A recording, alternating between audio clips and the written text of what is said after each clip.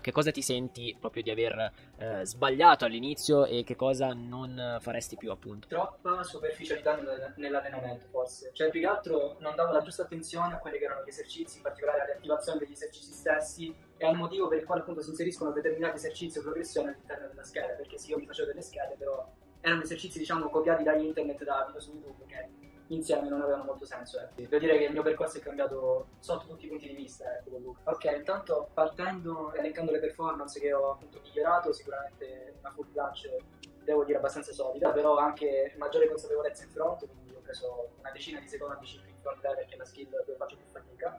Eh, poi ho preso l'op, ho migliorato tantissimo la spinta verticale, quindi piegamento verticale full on e tutte tutto ciò che ne riguarda. Per quanto riguarda invece ciò che ho imparato da questo percorso è sicuramente che ho acquisito una maggiore consapevolezza dell'allenamento. Quando mi alleno e faccio un esercizio so a cosa devo pensare, so su cosa mi devo concentrare, cose che all'inizio trascuravo eh, decisamente. Ecco.